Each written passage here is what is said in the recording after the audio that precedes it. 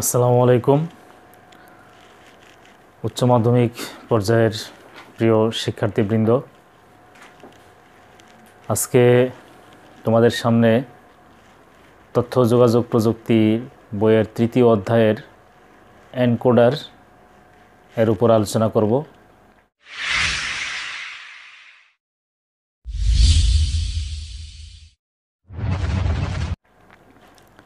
প্রিয় শিক্ষার্থীবৃন্দ আমরা বর্তমান পরিস্থিতিতে মহান আল্লাহ রাবুল্লা আলমিনের দরবারে প্রার্থনা করব যাতে আল্লাহ পাক আমাদেরকে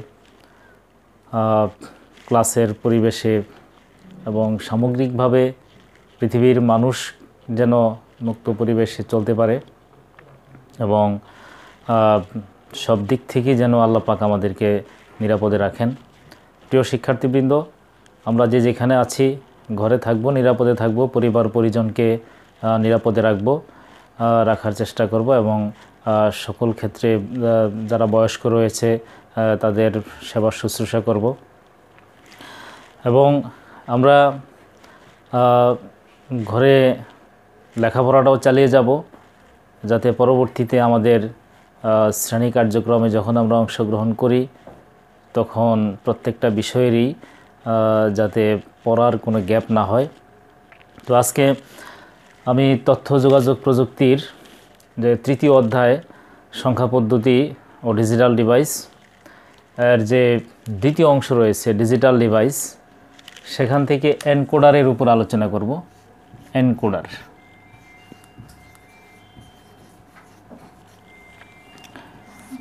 তো আমরা প্রথমেই জানব যে এনকোডার কাকে বলে। এনকোডার এর সংজ্ঞাটা জানব যে এনকোডার মানে হলো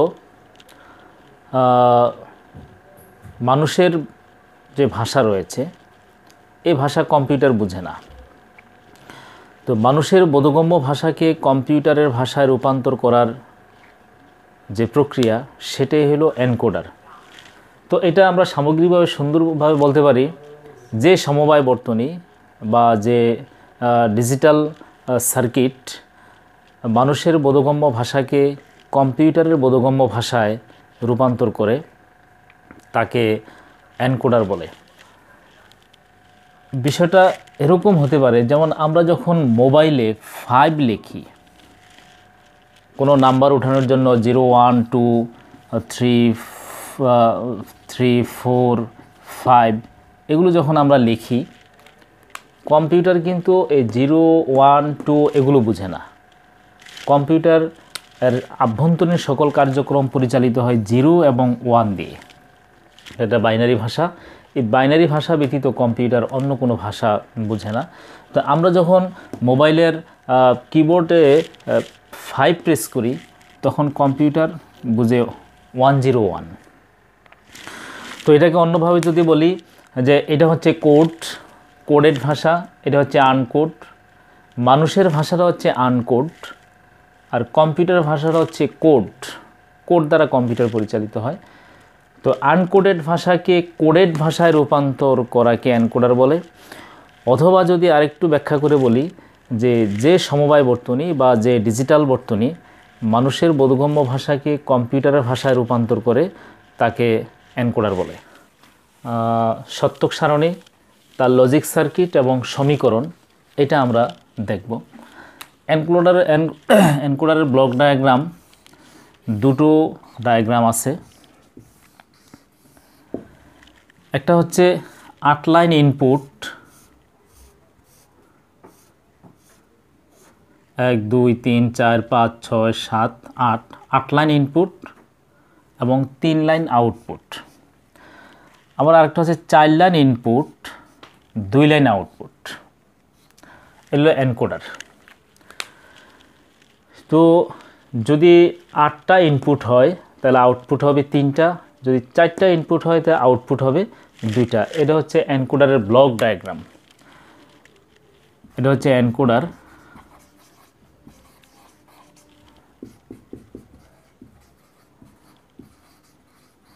এনকোডার এটার চিত্রে আমরা লিখতে পারি যে এনকোডার এর ব্লক ডায়াগ্রাম। তো এই এনক্লো এনকোডারের যে ব্লক ডায়াগ্রাম, এর এই ইনপুট এবং আউটপুটের এনকোডার একটা বৈশিষ্ট্য রয়েছে, যে এনকোডারের বৈশিষ্ট্য। এনকোডারের বৈশিষ্ট্য। তো এনকোডারের বৈশিষ্ট্য কি? বৈশিষ্ট্য হলো, এর দুটো বৈশিষ্ট্য আছে। এক নম্বর বৈশিষ্ট্য, এনকোডারের সকল ইনপুট একই সময়ে শূন্য হতে পারবে না। আর দ্বিতীয় নম্বর বৈশিষ্ট্য হলো, একটি ইনপুট ওয়ান হলে বাকি ইনপুটগুলো শূন্য হবে। এই দুইটা এনকোডারের বৈশিষ্ট্য। আমরা এই বৈশিষ্ট্যের আলোকে এখন একটা সত্যক সারণী তৈরি করব, যে আমি আবারও বলি এনকোডারের সাধারণ দুটি বৈশিষ্ট্য রয়েছে। এক নম্বর বৈশিষ্ট্য হচ্ছে একই সময়ে এবং একই সাথে সকল ইনপুট শূন্য হতে পারবে না। আর দ্বিতীয় যে বৈশিষ্ট্য সেটি হলো একটি ইনপুট ওয়ান হলে বাকি ইনপুটগুলো শূন্য হবে। তো আমরা এবার আট লাইন ইনপুট এবং তিন লাইন আউটপুটের একটা এনকোডারের সত্যক সারণী তৈরি করি। সত্যক সারণী তৈরি করার জন্য আমাকে প্রথমে ঘর করে নিতে হবে। এখানে মোট আটটা ইনপুট হবে, আটটা ইনপুট লাইন হবে এবং তিনটা আউটপুট লাইন হবে। তো সর্বমোট এগারোটা কলাম হবে আমার এখানে। এক, দুই, তিন, চার, পাঁচ, ছয়, সাত, আট। এটা একটু ডাবল মার্জিন দিয়ে নিই। এখানে আমি আরও তিনটা ইনপুট নিয়ে নিলাম। প্রিয় শিক্ষার্থীবৃন্দ এখানে এটা হলো আউটপুট আর এটা হলো ইনপুট ইনপুট এখানে আমি একটা ঘর দিলাম। তো ইনপুটগুলা আমরা বিভিন্ন মান ধরে নিতে পারি। এটা ধরে নিতে পারি D zero D one D two D three D four D five D six এবং ডি সেভেন আউটপুট ধরে নিতে পারি এক্স ওয়াই জেড তো এখানে বৈশিষ্ট্যের আলোকে যে এনকোডারের সাধারণ বৈশিষ্ট্য হলো যে একটা ইনপুট জিরো হলে বা শূন্য একই সময়ে সকল ইনপুট শূন্য হতে পারবে না। আর দ্বিতীয় বৈশিষ্ট্য ছিল যে একটা ইনপুট যদি ওয়ান হয়, বাকি ইনপুটগুলো শূন্য হবে বা জিরো হবে। তো এই যে ডি জিরো এই ডি জিরোর মূলত এটা হচ্ছে জিরো। এটার ঘরে যা থাকবে তার মান জিরো এবং জিরো হিসাবে তার আউটপুট হবে। যেমন এখানে আমি প্রথম করে ওয়ান দিলাম। বৈশিষ্ট্য হলো যে একই সাথে এবং একই সময়ে সকল ইনপুট শূন্য হতে পারবে না। একটা ইনপুট যদি ওয়ান হয়, বাকিগুলো শূন্য হবে। তা আমি লিখলাম এখানে একটা যেহেতু ওয়ান দিছি, বাকিগুলো আমি শূন্য দিয়ে দিলাম। এখানে এই জিরো, মূলত এই zero one two three four five six seven এই এই মানগুলো এখানে বসবে। আমি একটু পরে এটার ব্যাখ্যাটা বুঝিয়ে দিব যে ডি জিরোর গড়ে যেহেতু ওয়ান আছে, তাহলে এই ওয়ানের মান জিরো তা আউটপুট হবে জিরোর আউটপুট জিরো আমি একটা ঘর টান দিয়ে দিলাম। তারপরে এখানে যেহেতু ডি জিরো করে ওয়ান হয়েছে বলা হচ্ছে যে একই সময়ে এবং একই সাথে সকল ইনপুট শূন্য হতে পারবে না। তাহলে একটা ওয়ান হবে। একটা যেহেতু ওয়ান হয়ে গেছে, পরের ঘরে এখানে শূন্য হবে এবং ডি ওয়ানের ঘরে এখন ওয়ান থাকবে। বাকিগুলো শূন্য হবে।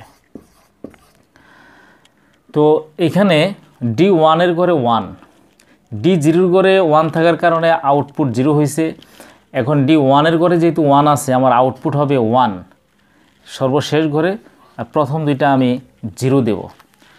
এই জায়গায় আমি একটা জিনিস বলে রাখি, আমাকে যদি কেউ এক লিখতে বলে তাহলে আমি কিন্তু এক লিখব এইভাবে। শূন্য দিয়ে এক লিখব। আমি কিন্তু এক লিখে শূন্য লিখব না, এক লিখে শূন্য লিখলে দশ হয়ে যাবে। তাহলে শূন্য লিখে আমি এক লিখব। আমার ডি জিরো ঘরে ওয়ান আছে, তার মানে এইখানে ওয়ান তা আউটপুট যদি ওয়ান হয়, আমি ওয়ান যদি এই ঘরে লিখি, তাহলে এটা দশ হয়ে যাবে। যদি ওয়ান এই ঘরে লিখি, তো একশো হয়ে যাবে। এই জন্য আমি সর্বশেষ ওয়ান লিখলাম। এনকোডারের বৈশিষ্ট্যের আলোকেই কিন্তু যাচ্ছি যে একই সাথে সকল ইনপুট শূন্য হবে না, একটা ওয়ান থাকতে হবে। আর একটা যদি ওয়ান হয়ে যায়, তাহলে বাকি ইনপুটগুলো শূন্য হবে। এখানে এই বরাবর একটা ওয়ান হয়েছে, এই বরাবর আর কোনো ওয়ান হতে পারবে না, বাকিগুলো শূন্য হবে। তো প্রথম করে ডি জিরোর করে ওয়ান হয়েছে ডি ওয়ানের করে ওয়ান ছিল, এখন ডি টু এর করে ওয়ান হবে। আগে পরের সবগুলো ইনপুট জিরো হবে। এখন টু আমরা জানি টু এর বাইনারি হচ্ছে ওয়ান জিরো জিরোর বাইনারি ছিল জিরো আউটপুট জিরো হয়েছে ওয়ানের binary one output one D two এর বাইনারি হচ্ছে ওয়ান জিরো এই যে ওয়ান জিরো লিখলাম, বামে একটা শূন্য দিয়ে দিলাম। তারপরে আমি এটা টান দিয়ে ডি টু এর করে ওয়ান হয়েছে, এখন ডি থ্রির করে আমি ওয়ান দেব। আগে পরের ঘরগুলো শূন্য দিয়ে পূরণ করে দেব। যেহেতু একটা ওয়ান হইলে বাকি ইনপুটগুলো শূন্য হবে। তো ডি থ্রির করে এখন ওয়ান তাহলে থ্রির বাইনারি হচ্ছে থ্রির মান ওয়ান ওয়ান আমি আগের ঘরটা শূন্য দিয়ে পূরণ করে দিলাম। তারপরে ডি ফোরের ঘরে ওয়ান দিলাম। আগে পরের ঘরগুলো আমি শূন্য দিয়ে পূরণ করে দেব। এখন ডি ফোর ফোরের বাইনারি হচ্ছে ওয়ান জিরো জিরো তারপরে আমি ফাইভের ঘরে ওয়ান দেব। আগের পরের ঘরগুলো শূন্য দিয়ে পূরণ করে নেব। আমি বারবার একটা কথা বলার চেষ্টা করতেছি যে এনকোডারের সাধারণ বৈশিষ্ট্য হলো একই সাথে সকল ইনপুট শূন্য হতে পারবে না। একটা ইনপুট শূন্য হলে বাকি ইনপুটগুলো একটা ইনপুট ওয়ান হলে বাকি ইনপুটগুলো শূন্য হবে। সে আলোকেই আমরা যাচ্ছি। ডি ফাইভের ঘরে ওয়ান বসানো হয়েছে, এখন ডি সিক্সের ঘরে আমি ওয়ান বসাবো। ডি সিক্সের ঘরে ওয়ান বসাইলে আগে পরের ঘরগুলো শূন্য দিয়ে দিলাম। তাহলে সিক্স আমরা জানি সিক্সের বাইনারি ওয়ান ওয়ান জিরো এখানে একটা ঘরের সংখ্যা লেখা হয় নাই ডি ফাইভ ডি ফাইভের বাইনারি ওয়ান জিরো ওয়ান তারপরে আমাকে ওয়ান দিতে হবে ডি সেভেনের ঘরে। ডি সেভেনের ঘরে ওয়ান বসানোর কারণে আগের সবগুলো ঘর আমি শূন্য দিয়ে পূরণ করে দিলাম। এবার সেভেনের বাইনারি আমরা জানি ওয়ান ওয়ান ওয়ান এখানে জিরো থেকে এই জিরো থেকে zero one, two, three, four, five, six, seven. এই যে আউটপুটটা আমি বসাইলাম, আউটপুটের যে মানটা মানটা কিন্তু জিরো থেকে সেভেন পর্যন্ত, অর্থাৎ অক্টাল সংখ্যা পদ্ধতির যে রূপান্তর, বাইনারি যে মান, সে মানটাই মূলত আউটপুটের ঘরে এখানে বসানো হয়েছে। বা এটাকে যদি আমরা এইভাবে চিন্তা করি তাহলে এটা বুঝতে সহজ হবে। তাহলে আমাদেরকে অনেক সময় কেউ এনকোডার পড়তে গিয়ে এইভাবে মুখস্থ করে কোনো কোনো স্টুডেন্ট বা তোমরা অনেক সময় মনে রাখার জন্য এটা এইভাবে মুখস্থ করো যে প্রথম ঘরে চারটা জিরো, তারপরে চারটা ওয়ান তারপরে ঘরে দুইটা জিরো, দুইটা ওয়ান দুইটা জিরো, দুইটা ওয়ান তারপরে একটা জিরো, একটা ওয়ান এইভাবে যদি তোমরা মুখস্থ করো, তাহলে দেখা যাবে যে কোনো কারণে তুমি লিখতে গিয়ে চারটা জিরোর জায়গায় পাঁচটা জিরো দিয়ে ফেলছো। খেয়ালের বলে সেটার করা হয় নাই। কিন্তু যদি জিরো থেকে সেভেন পর্যন্ত অক্টাল মানের আউটপুটটা এখানে যদি আমরা বসাই, তাহলে ভুল হওয়ার সম্ভাবনা থাকবে না। প্রিয় শিক্ষার্থীবৃন্দ, এ পর্যায়ে এই যে এটা হচ্ছে সত্যক সারণী। এনকোডার এর সত্যক সারণী। এই সত্যক সারণী থেকে আমরা একটা একটা সমীকরণ বের করব। একটা সমীকরণটা এরকম। সমীকরণটা যে আউটপুট এক্সের যেই যেই এক্স আউটপুট ছিল ওয়াই আউটপুট ছিল জেড আউটপুট ছিল, কারণ এক্সের যেই যেই ঘরে ওয়ান আছে আউটপুটের এই অবস্থায় ইনপুটের ওয়ানটা কার ঘরে ছিল? সেটা আমি এখানে বসাবো। প্লাস চিহ্ন দিয়ে দিয়ে সেটা বসাবো।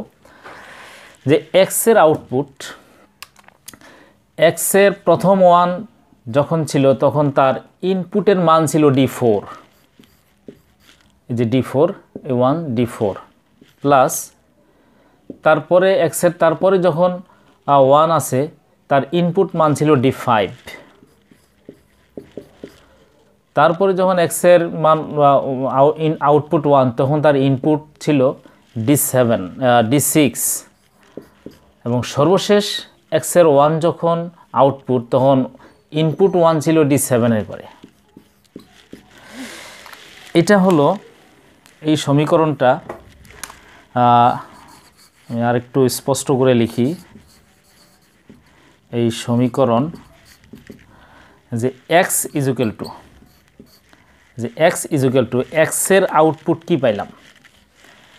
এক্স যখন আউটপুট হিসাবে ওয়ান দেখানো হয়েছে তখন ইনপুট ছিল প্রথম ডি ফোর তারপরে ছিল ডি ফাইভ তারপরে ডি সিক্স তারপরে ডি সেভেন এই X is equal to D four plus D five plus D six plus D seven তারপর ওয়াই ইজুকেল টু কী পাওয়া যায়? ওয়াই ইজুকেল টু দেখা যায় ওয়াইয়ের যখন এই ঘরে ওয়ান তখন তার ইনপুট মান ছিল ডি টু এর ঘরে। এই ঘরে যখন ওয়ান, তখন ছিল ডি থ্রির ঘরে। প্লাস এইখানে যখন ওয়ান, তখন তার ইনপুট মান ছিল ডি সিক্স। প্লাস এইখানে যখন ওয়ান, তখন তার ইনপুট মান ছিল ডি সেভেন। একইভাবে জেড ইজুকেল টু জেডের প্রথম এখানে যখন আউটপুট ওয়ান ছিল, তখন ইনপুট ছিল ডি ওয়ানের ঘরে। প্লাস এইখানে যখন জেডের আউটপুট তখন তার ইনপুট ছিল ডি থ্রির ঘরে এখানে যখন জেডের আউটপুট ওয়ান তখন সেটা ছিল ডি ফাইভের ঘরে। সর্বশেষ যখন এখানে জেডের আউটপুট ওয়ান তখন ইনপুট ছিল ডি সেভেনের ইনপুট ওয়ান ছিল ডি সেভেনের ঘরে। প্রিয় শিক্ষার্থীবৃন্দ, আমরা এনকোডারের এই সত্যক সারণীর আলোকে একটা সমীকরণ বের করলাম। এখন এই সমীকরণটার এই আউটপুটটা আমরা একটা লজিক সার্কিটের মাধ্যমে দেখাবো। এখানে যেহেতু ইনপুট ছিল আমার মোট zero one two three four five six seven অর্থাৎ আটটা। তাহলে আটটা লাইন দিয়ে আমার ইনপুটটা প্রবেশ করছে আর এই আট লাইন দিয়ে প্রবেশ করে সেটা তিনটা লাইন দিয়ে বের হয়েছে তা আমি এখানে আটটা ইনপুট মান সাজাবো। এক, দুই, তিন, চার, পাঁচ, ছয়, সাত, আট। এই আটটা লাইন আমি নিলাম এবং এগুলোর নাম লিখি উপরে।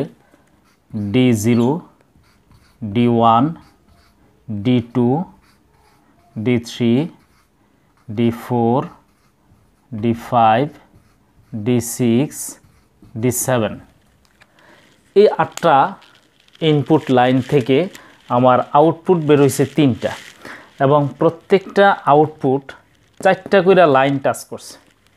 এখানে আমি দেখতেছি এক্স তার আউটপুট বের হইতে চারটা লাইন টাচ করেছে ওয়াই চারটা লাইন টাচ করছে জেড চারটা লাইন টাচ করছে। তো এই এক্স ইজুকেল টু এই লাইনগুলো আমি টেনে দেবো যে এখানে যে সমীকরণটা বের করলাম, এই শুধু এখন এগুলো দেখে দেখে ওখান থেকে টেনে একটা অর গেটের মাধ্যমে আউটপুটটা বের হবে। তোমরা নিশ্চয়ই গেট পড়েছ OR gate AND gate NOT gate এই অ্যানকোডারের এই ফলাফলটা আউটপুটটা অর গেটের মাধ্যমে প্রকাশ করা হয়। তো X is equal to D four আমি লাইনটা নিই ডি ফোর তারপরে D five D six D seven এটা টেনে আমি একটা অর্গেটের একটা চিত্র আমি এখানে তৈরি করে দেই। হলো এক্স তাহলে এক্সের ফলাফল পাইলাম। তারপরে ওয়াই ওয়াই ছিল ডি টু ডি টু তারপরে ডি থ্রি তারপরে এখানে আছে ডি সিক্স এবং ডি সেভেন ডি সিক্স এবং ডি সেভেন এটারও আমি একটা একটা অর্গেট তৈরি করে দিলাম। ওয়াই তারপরে জেড জেডের আউটপুট ছিল প্রথম ডি ওয়ান তারপরে ডি ওয়ানের পরে ডি থ্রি ডি থ্রি তারপরে ডি ফাইভ ডি সেভেন এটা হচ্ছে ডি ফাইভ ডি সেভেন এখানেও আমি একটা অর্গেটের একটা চিত্র আমি এঁকে দিই।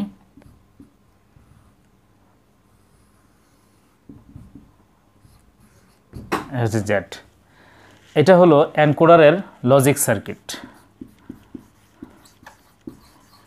অ্যানকোডার এর লজিক সার্কিট তো প্রিয় শিক্ষার্থীবৃন্দ, আমি প্রথমে অ্যানকোডারের সংজ্ঞা বলেছি। অ্যানকোডার কাকে বলে? তারপরে বলেছি অ্যানকোডারের বৈশিষ্ট্য। অ্যানকোডারের বৈশিষ্ট্যের পরে আমি ব্লক ডায়াগ্রাম দেখাইছি। অ্যানকোডারের ব্লক ডায়াগ্রাম আট লাইন ইনপুট এবং তিন লাইন আউটপুট। এক, দুই, তিন, চার, পাঁচ, ছয়, সাত আট লাইন ইনপুট এবং তিন লাইন আউটপুট। পাশাপাশি আবার চার লাইন ইনপুট এবং দুই লাইন আউটপুট এই যে সত্যক সারণীটা আছে, এখানে আট লাইন ইনপুট তিন লাইন আউটপুট দেওয়ার কারণে এখানে আমার কলামটা, এই সত্যক সারণীটা বড় হয়েছে। ডি জিরো থেকে ডি সেভেন পর্যন্ত আমাকে আটটা ইনপুট সেট করতে হয়েছে। যদি এটা চার লাইন ইনপুট দুই লাইন আউটপুট হয়, তাহলে আমার এখানে জিরো ওয়ান টু থ্রি পর্যন্ত হবে, এই চার লাইন আর আউটপুট হবে এক্স ওয়াই দুইটা। তাহলে চার আর দুই, ছয়টা কলাম হইলে আমার এটা হয়ে যাবে। আর ওখানে ঠিক গেট বেরোবে দুইটা এক্স ওয়াই আউটপুট গেট দুইটা বের হবে। তো যদি আমরা আট লাইন ইনপুট এবং তিন লাইন আউটপুটের এনকোডারের ব্লক ডায়াগ্রাম সত্যক সারণী, সমীকরণ এবং লজিক সার্কিট আঁকতে পারি তাহলে চার লাইন ইনপুট দুই লাইন আউটপুটেরটাও আমরা করতে পারব। তো এটা তোমাদের নিজেদের কাজ হিসেবে থাকল। তো আজকের এই আলোচনায় আমরা এনকোডারের আহ, সংজ্ঞা তার সত্যক সারণী সমীকরণ এবং লজিক সার্কিট সম্পর্কে একটা সংক্ষিপ্ত একটা ধারণা পেলাম। আশা করি নিজেরা আরও প্র্যাকটিস করলে এই জিনিসটা সহজ হয়ে যাবে। তো এ সম্পর্কে কোনো কিছু জানার এবং বোঝার থাকলে সেটা অবশ্যই কমেন্ট করে মতামত জানাতে হবে। পাশাপাশি চ্যানেলটি সাবস্ক্রাইব করার জন্য সকল শিক্ষার্থীদের প্রতি আহ্বান রাখছি।